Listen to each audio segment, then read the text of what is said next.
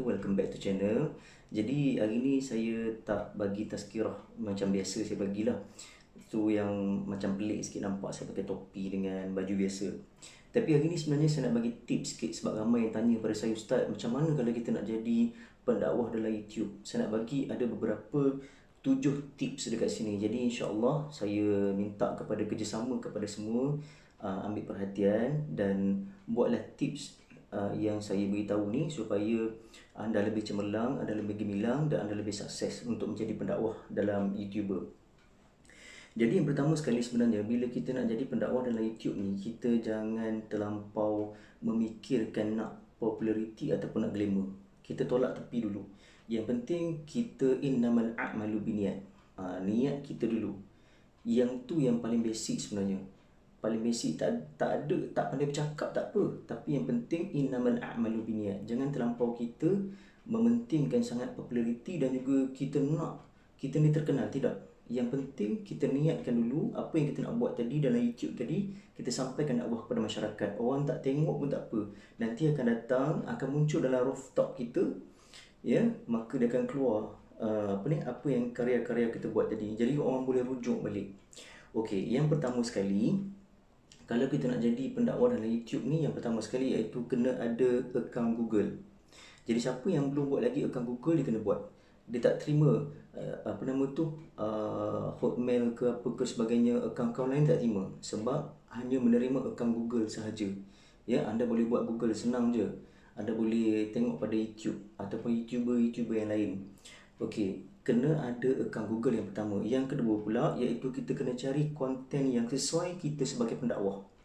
Kalau kalau yang ni sebagai orang yang kata uh, dia suka menyanyi, dia buat konten menyanyi. Kalau yang ni suka dia buat konten melukis, buat konten melukis. Macam kita sebagai uh, YouTuber pendakwah, maka kita kena cari identiti kita sendiri. Jangan kita tiru, tiru ataupun kita meniru identiti orang lain. Maksudnya kita kena ada konten kita sendiri. Kita nak buat konten apa ini? Konten dakwah. Okey. Contoh kita nak pergi uh, perkampungan orang asli. Uh, so, kita tunjukkan kepada apa nama tu orang yang melihat uh, viewers kita tu kita tunjukkan kepada dia oh begini keadaan apa nama tu uh, pendakwah-pendakwah ni. Okey, seterusnya pula iaitu yang ketiga jangan malu kena mesra dengan kamera. Ah yang ni ramai yang malu bila mana uh, dia malu nak berhadapan dengan kamera macam saya dah biasa bila bercakap dengan audiens ni ataupun bercakap dengan orang lain sebab saya dah biasa ceramah tapi macam orang ni dia malu nak cakap dengan audiens contoh bila dia cakap Okey, tajuk hari ni uh, saya akan menceritakan tentang bab uh, hukum-hukum uh, dalam perkahwinan.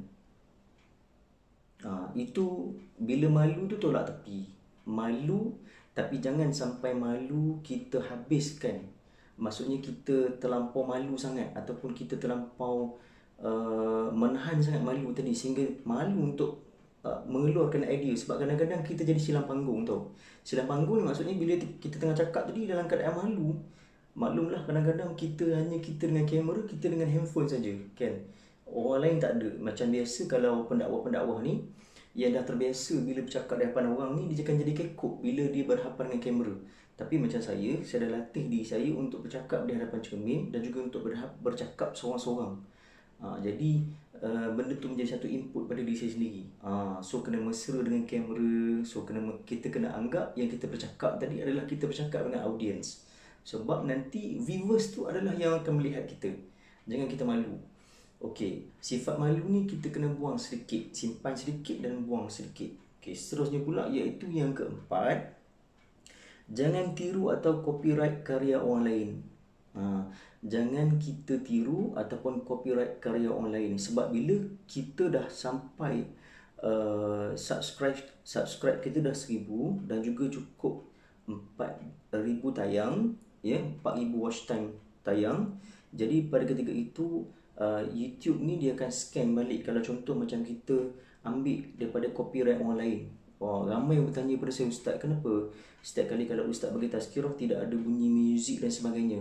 Sebab kita tidak boleh copyright muzik orang lain. Ha, sebab tu saya nak bagi jawapan kat sini. Orang tanya saya Ustaz, kenapa uh, Ustaz tak buat background music bila ustaz bagi ceramah tadi. Tapi bagi saya kalau kita buat background music dalam uh, tazkirah ataupun ceramah sebab dia jadi macam tak fair and square. Macam tak cantik, macam tak mulik sebab kita cerita benda yang baik tapi di belakang tu pula ada music. Ha. Jadi kadang-kadang bila kita buat music, music lebih kuat daripada suara kita. Itu pun salah. Kalau boleh biarlah kalau kita nak buat konten dakwah ataupun konten kita tengah tazkirah, biar suara kita saja dengan jelas dan didengari oleh orang yang mendengar tadi. Ya, maksudnya jangan tiru ataupun copyright orang lain. Jangan salin video-video orang lain untuk masukkan dalam YouTube kita. Sebab nanti YouTube kita akan kena ban. Ha, lagu-lagu pun kena tengok juga. Macam contoh lagu-lagu contoh.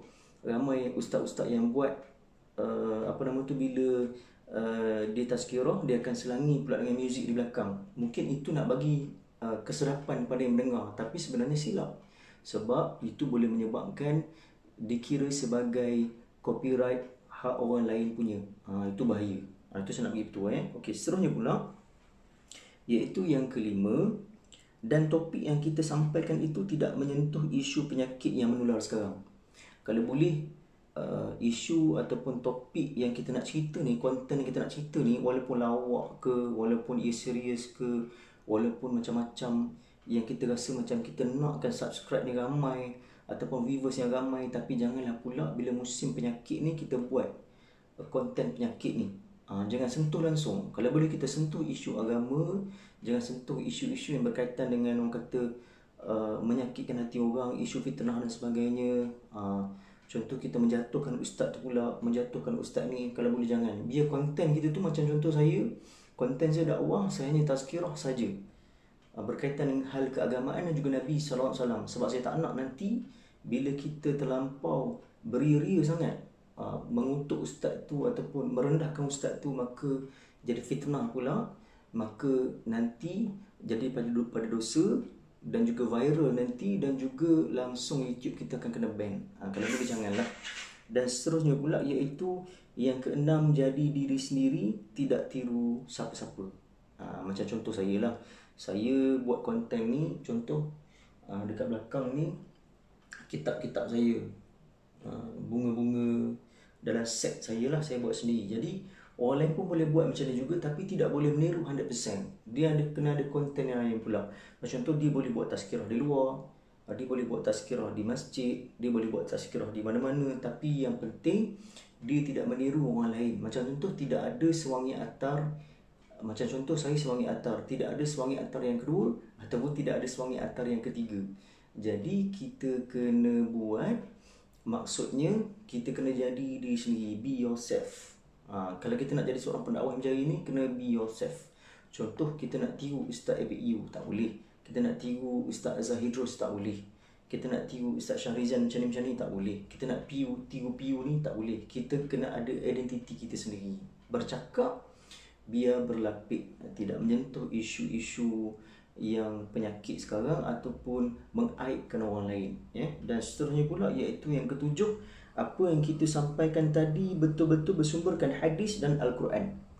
Jadi bila kita nak buat tadi, konten tadi, bila kita bagi tazkirah macam saya tazkirah, saya akan sentuh mengenai isu, eh, mengenai iaitu dalil. Uh, dalil, uh, apa ni, dua dalil. Satu, dalil Al-Quran dan juga satu, dalil sunnah. Uh, kita, bila kita nak cerita tentang agama ni, kena ada dalil. Kalau tak ada dalil, jadi susah, jadi keliru pada orang. Tapi jangan pula kita uh, um, apa nama tu ceramah ataupun tazkirah tidak menyentuh langsung tentang dalil sebab takut nanti jadi isu dan juga mengelirukan orang Islam dan mengelirukan orang yang mendengar maka dia akan jadi masalah ya yeah? macam contoh saya saya ada pengalaman saya sendiri berkaitan dengan orang kata uh, hal rumah tangga sebab tu saya berani cerita perihal rumah tangga sebab kita sentiasa berhadapan dengan orang yang uh, hari-hari orang berjumpa dengan kita masalah rumah tangga uh, jadi dan uh, saya juga bekerja dengan uh, Jabatan Agama Islam ataupun Pejabat Agama Islam. Jadi uh, saya relatekan dengan isu semasa dan juga uh, hukum dan juga pengalaman yang saya ada dan juga ilmu yang saya ada saya curahkan uh, pada YouTube ni. Jadi saya harap saya harap semoga dengan uh, tips-tips yang saya bagi tadi moga tuan-tuan dan semua para YouTuber semua para ustaz dan asatizah dan ustazah dengan berani uh, bawa lah image anda sendiri dan cari konten anda sendiri dan jangan meniru orang lain. Jangan sebarkan maklumat-maklumat yang palsu dan sebarkan kebaikan kepada masyarakat. insya-Allah bila kita berdakwah kepada masyarakat bukan kita nak populariti tidak. Kita betulkan niat kita. Macam saya saya betulkan niat saya saya buat benda ni supaya saya dekat dengan masyarakat nak bagi penerangan kepada masyarakat tentang hukum. Itu saja. Bukan kita nak menghukum orang tapi kita nak bagi penerangan tentang hukum kepada masyarakat. Jadi insya-Allah uh, saya harap kepada ustaz-ustaz dan ustaz-ustazah yang malu-malu yang tak berani nak buat konten ni uh, boleh tanya saya dekat dalam YouTube ni macam mana tips dia? Jadi insyaAllah walaupun ada kamera walaupun ada guna kamera handphone pun tak apa walaupun kita tidak menggunakan kamera macam vlog-vlog macam vlogger-vlogger yang yang dah uh, establish kan.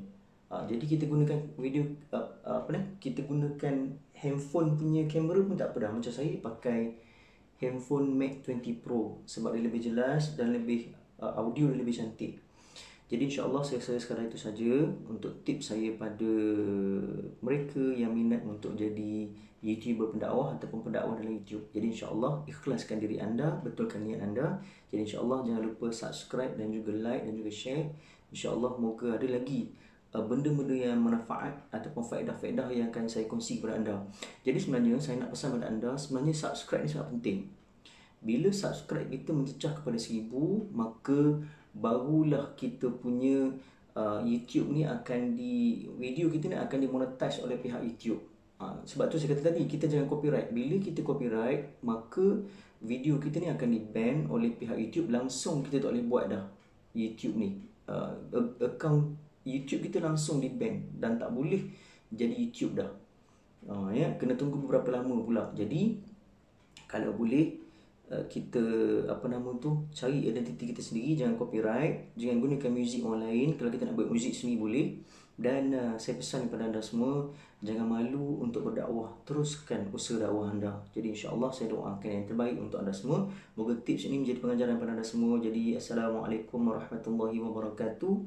Dan jangan lupa subscribe dan juga like dan juga share. Assalamualaikum warahmatullahi wabarakatuh. Allahumma salli ala sayyidina Muhammad